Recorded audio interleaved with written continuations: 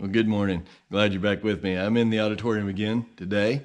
And uh, as you can see, the first step in the door is a doozy. So uh, you probably don't want to walk in here unless you just absolutely have to, except that we're going to try to take a picture in here this morning after worship service this morning, just because we're getting ready for our contractor to begin work in here to um, put a floor back in. I'm pretty excited about that. We're going to look at the third chapter of Nehemiah this morning, and I'm not going to read the whole chapter. I don't don't worry, it's thirty some verses, and and I uh, I do want you to read it sometimes so that you can kind of get a grasp upon about what was happening. The uh, Nehemiah in chapter 2 had gathered together a building committee to lay the groundwork for the reconstruction of the wall and he motivated a group of, of leaders.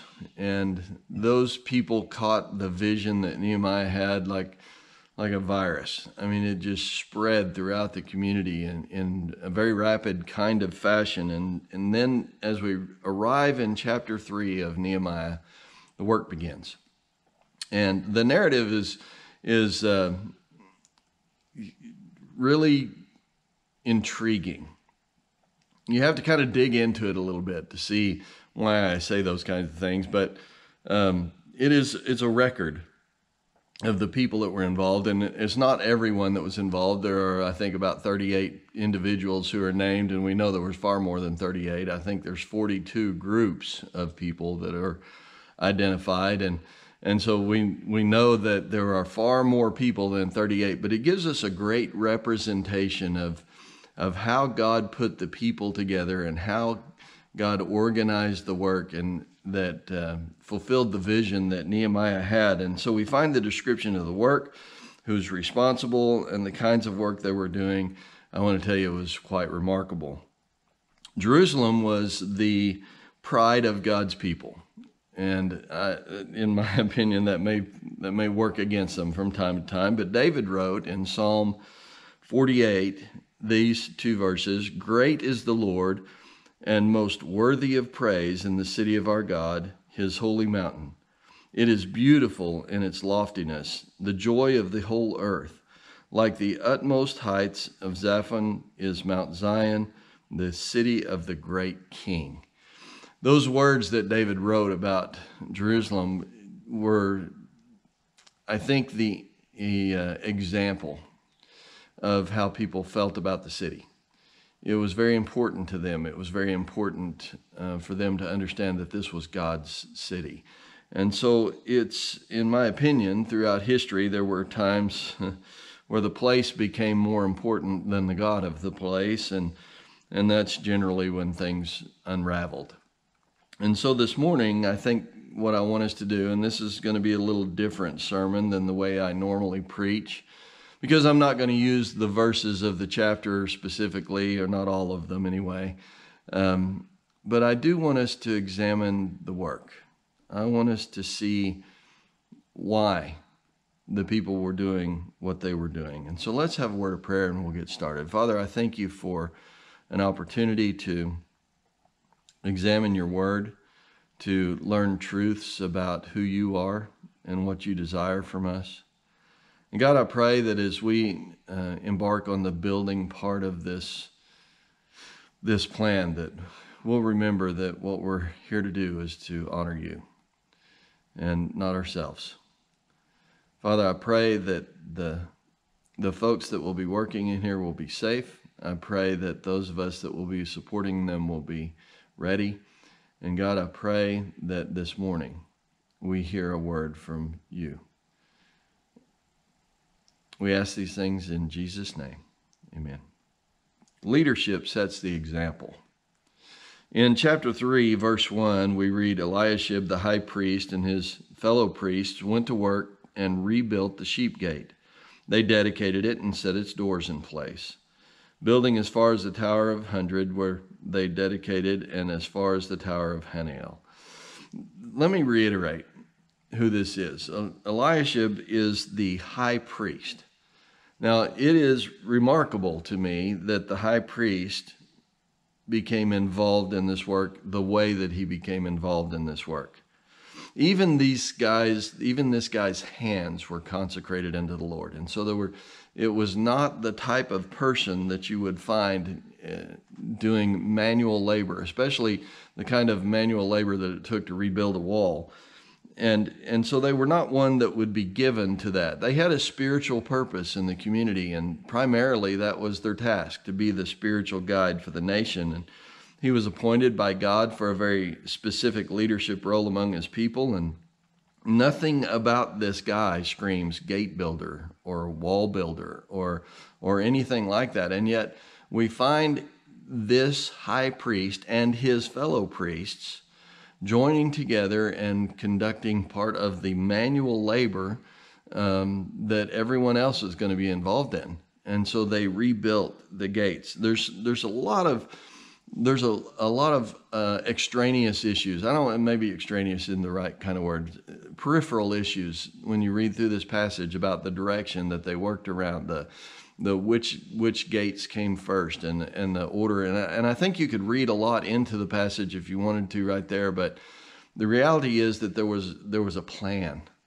and the plan was to rebuild this wall, and so everybody became involved in it.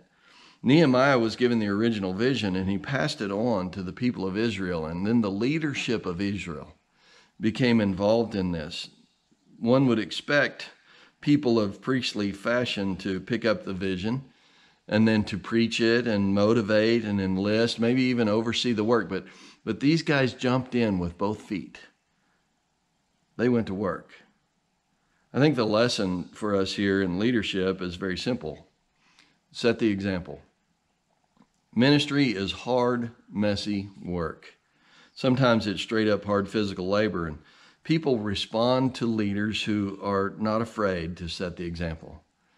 You know, there's been some really impressive work done in this place right here by leaders in our local church.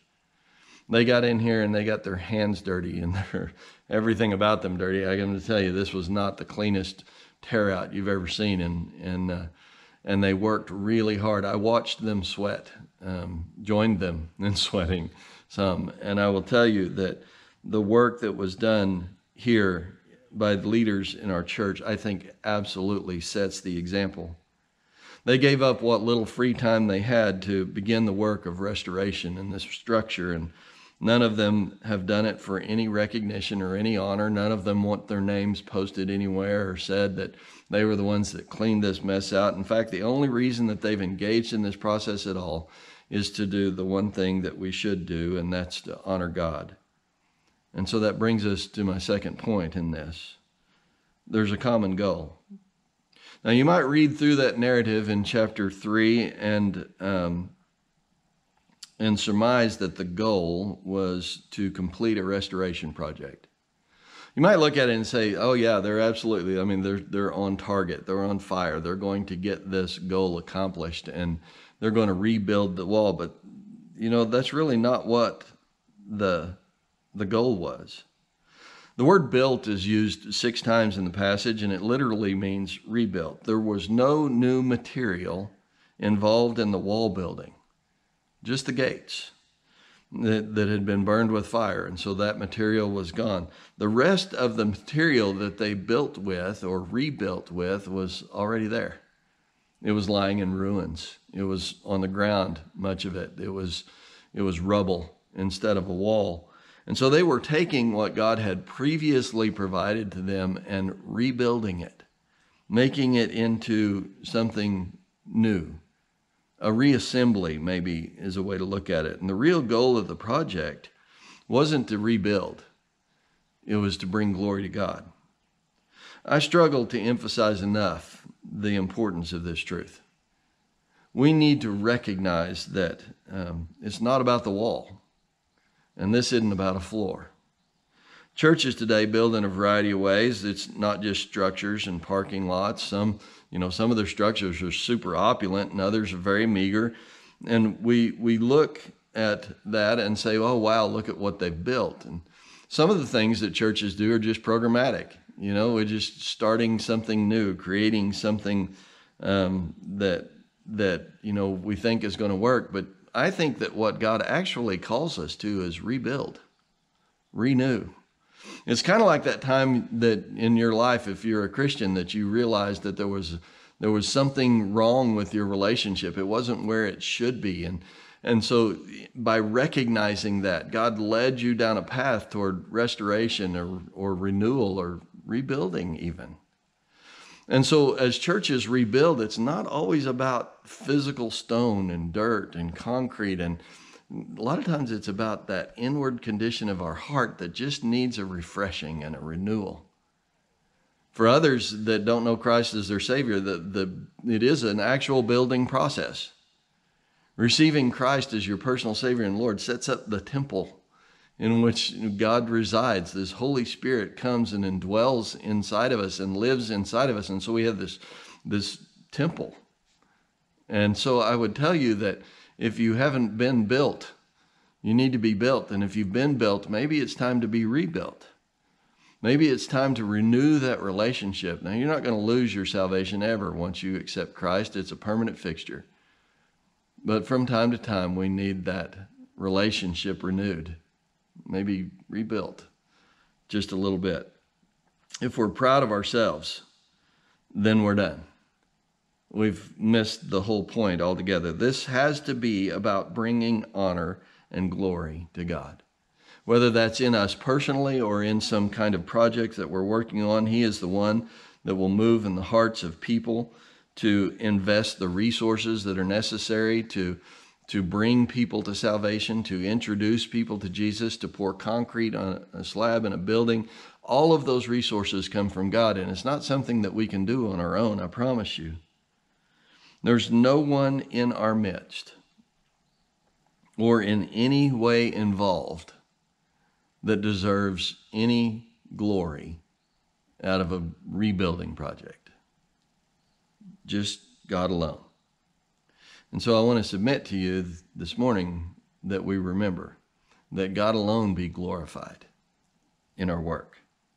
Paul said to the Corinthians in uh, 1 Corinthians chapter 10 verse 31, so whether you eat or drink or whatever you do, do it all for the glory of God. And yes, I know he was giving instructions about the Lord's Supper. I know the context, but I think there's an application here for everything that we do that whatever we do, we do it for the glory of God.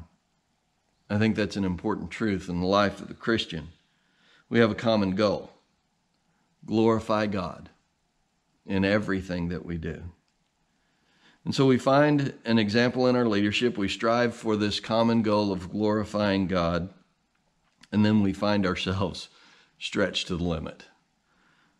Everyone played a part in rebuilding the wall, from the highest nobles to the, to the normalest of normal people. I don't even know if that's a word, but I used it.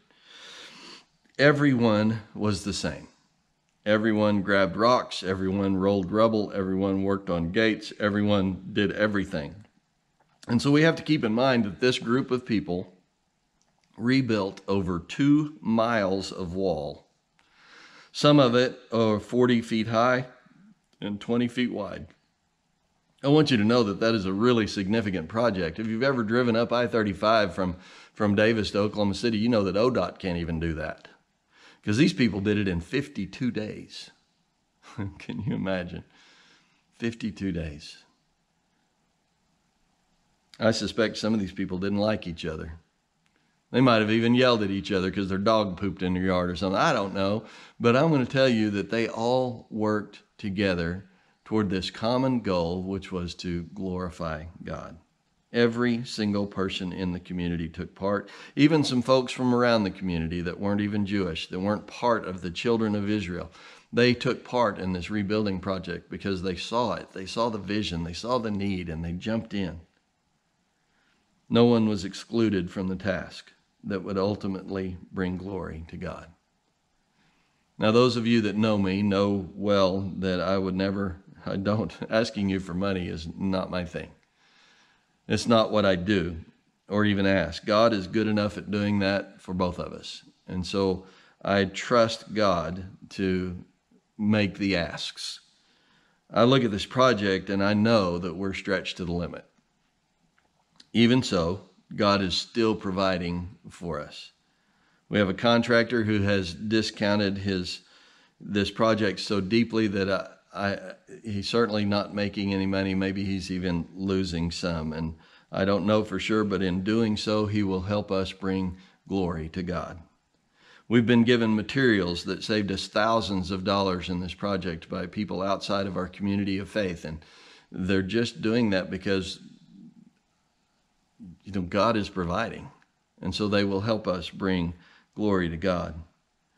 Then this week we lost the air conditioning in our temporary space over there and and it's going to have to be completely replaced according to the air conditioning guys and so quite frankly the only source for the resources we need to do that is God. We are stretched to the limit. Perhaps he'll use us or others around us, but I know without a shadow of doubt that God's going to provide every resource we need to get this stuff completed. And it's not going to be so that we'll have glory, but so that he'll have glory. When we're finished, we will declare that there is no way we could accomplish all we've done without God and his provision. And so we bring glory to God. I love this church. I love God more more often than not, God asks us to do more than we can or know how to do. He did that with these people that were building the wall. They were not gate builders, they were not wall builders, they were just people that God enlisted in a task that would bring glory to Him. God wants to show everyone around us who He is.